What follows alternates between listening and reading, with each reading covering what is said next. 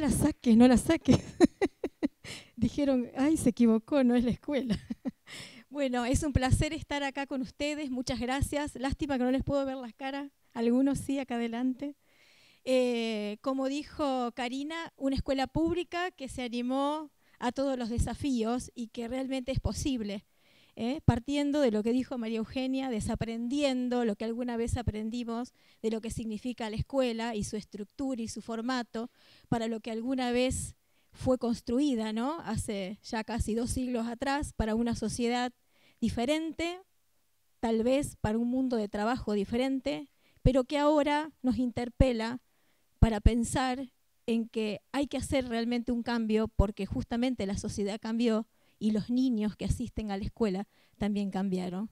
Y ese cambio tiene que ver con los cambios que tenemos que hacer los adultos sin tantos cuestionamientos y sin tampoco echarnos culpa, digamos, es lo que hemos recibido y lo importante es poder mirarnos a nosotros mismos. Por eso yo elegí una foto familiar, ¿eh? porque acá estoy como vestida de una forma, pero en realidad esa soy yo, esa es mi familia, la que me da contención. En cada una de sus miradas y sus risas me pueden encontrar a mí.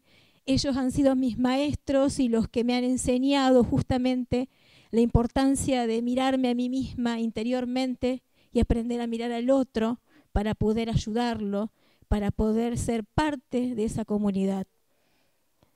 Y esta es mi segunda familia, ¿no? La escuela donde yo trabajo, esta es la Escuela San José de Calazán, que, como dijo Karina, está ubicada en San Jorge, provincia de Santa Fe, centro oeste de la provincia de Santa Fe, una zona agrícola ¿eh? por excelencia, una ciudad pequeña, una escuela que eh, está habitada por mundos diferentes, ¿eh? como pequeños mundos que asisten todos los días mi propio mundo, el mundo de los chicos, el mundo de los adultos, de los docentes, de los padres, de los asistentes escolares que conviven en ese espacio y por sobre todas las cosas lo habitan todos los días.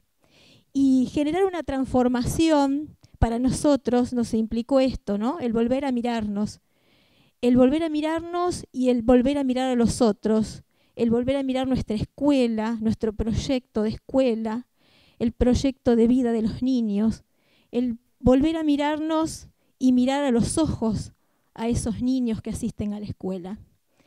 Porque el aprender a mirar y a mirar al otro hace que uno pueda distinguir que es otro y que existe y que está ahí habitando ese espacio y que convive conmigo. Y de esa manera, como dice Eduardo Galeano, no pasarlo por encima, no atropellarlo, no pisarlo, ese es un otro que necesita que aprendamos el lenguaje de su corazón, aprender a escuchar el corazón de uno y el corazón del otro, porque no siempre el corazón se habla con las palabras que nacen de los labios, dice Galeano. El corazón se habla con los pasos, con los gestos, con las posturas, con las lágrimas, con las sonrisas, con la forma de pararnos frente a los demás. Y ese aprender a mirarnos seguramente nos va a ayudar a descubrir lo esencial que cada uno de nosotros tenemos, que es justamente nuestra humanidad. Y que es desde ahí, desde donde tenemos que generar verdaderos cambios en la educación. Pensar que el otro que está frente mío, al lado mío, atrás mío, delante mío, es un ser humano, por sobre todas las cosas que va a la escuela para aprender contenidos ¿eh? curriculares, que todos, si son docentes acá, deben saber, ¿no? Pero que también va a aprender y, quiere ser escuchado. ¿eh? Nuestra propuesta se basa en este principio que es educar en la humanidad para transformar el mundo. Y bueno, desde ese lugar es de donde nos atrevimos a hacer algunos cambios y romper algunas estructuras a pesar de ser escuela pública. Como por ejemplo, generar espacios de intercambio entre los adultos, docentes, padres, en donde nos podamos autoconocer a nosotros mismos, conocer a los otros y desde ahí poder intercambiar experiencias, poder abrir espacios de diálogo que nos ayuden a pensar algo diferente dentro de la escuela. Abrir espacios también cuando iniciamos la jornada, nosotros nos formamos fila, hacemos una gran ronda cuando se inicia la jornada en esa ronda Em, nosotros eh, izamos la bandera porque es un ritual necesario y que lo tenemos que hacer. Hay algunos, algunas cuestiones que no podemos evadir, ¿no es cierto? Eh, se pone música tranquila, los chicos se sientan, se relajan, hacen silencio, se abre el micrófono y los que se animan, los que quieren, dicen lo que les pasa, cuentan algo que han trabajado en el aula, comparten las experiencias del salón, cuentan algo que traen de su casa, leen una historia, una poesía, compartimos este, problemáticas de la escuela y en ese espacio abrimos a la búsqueda de soluciones. Es un espacio para ser habitado justamente. Esto nos lo posibilita el hecho de que en la escuela también empezamos a trabajar con maestra única. Eh, no están, eh, los grados no trabajan divididos por áreas, es una sola docente que da todas las áreas de manera integrada. Porque desde ese lugar también creemos que es un cambio esencial, ¿no? El niño es uno solo, es íntegro, por lo tanto tenemos que tratar de construir los aprendizajes integralmente. Hay espacios donde los niños también pueden este, dialogar con sus señoritas, esto lo llamamos asambleas de aula o de relajación. Son espacios de autoconocimiento donde los niños pueden decir qué les pasa. Si no comieron a la noche, si tuvieron algún problema, si hay alguna historia linda para compartir de la familia y desde ese lugar entre ellos buscan ayudarse, porque ellos consideran que desde ese espacio pueden estar tranquilos, relajados y pueden aprender mejor. También existen delegados de grado que participan del gobierno escolar, en donde nos ayudan en la organización de distintos espacios escolares, como por ejemplo los recreos. Ellos hacen propuestas ¿eh? de mejora de la convivencia escolar, son escuchados y desde ahí se generan nuevos proyectos. Este es uno de los recreos en donde ellos han propuesto desayunar o merendar sentados porque la problemática era que se tumbaban el, mate cocido, que los bizcochos que estaban desparramados en varios lugares y que nadie los juntaba, que la escuela quedaba sucia. Bueno, a partir de eso los chicos han propuesto este espacio para compartir, donde la señorita se sienta con ellos y ese espacio también es de diálogo y de autoconocimiento. Espacios donde los chicos pueden poner de manifiesto sus competencias, lingüísticas, ¿eh?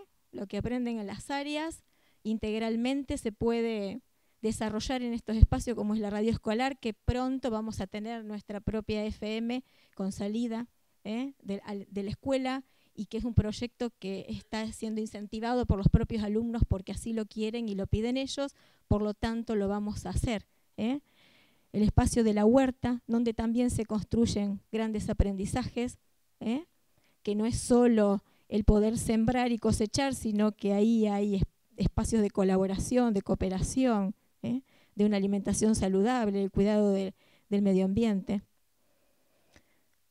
El uso de las tecnologías, espacios para crear, para disfrutar, para compartir con otros, romper las estructuras, salir del aula, ¿eh? sin pensar que se nos van a indisciplinar. Y como dijo María Eugenia, y bueno, ¿y si pasa qué? Tal vez desde ahí tenemos que empezar a preguntarnos cuál es el nuevo concepto de disciplina que tenemos que construir entre todos, cuál es el nuevo concepto de autoridad que tenemos que construir entre todos. Espacios al aire libre para trabajar con este, otras generaciones. ¿eh? Ahí están eh, un proyecto solidario con abuelos para abrazarnos. Hay muchos espacios para abrazarnos, porque todos necesitamos. Aunque estemos alejados físicamente, necesitamos de un abrazo de contención del otro, simplemente para sentirnos cerca, para integrar ¿eh? niños y adultos con capacidades diferentes y espacios para comunicar lo que hacemos, porque si el espacio está habitado, los chicos tienen la capacidad de comunicar lo que se hace. Y lo más importante creo que es esto, ¿no? que como docentes tenemos que animarnos, a quitar el primer ladrillo para que el dique se rompa solo. Y, y desde ahí empezar a construir algo distinto, animarnos. No pasa nada. Si se indisciplinan, volveremos a construir algo nuevo todos juntos. Y si algo no nos sale bien como planeamos, también se puede volver y aprender del error, como dice el compañero. Y bueno, esta es la invitación, ¿no? Que nos animemos, que es posible una nueva educación, una educación diferente. Esto es humildemente lo que hacemos nosotros. Seguramente ustedes tendrán experiencias diez veces mejores que la nuestra. ¿eh? Pero creo que algo tenemos que hacer, porque la educación es la que va a transformar el mundo. Gracias.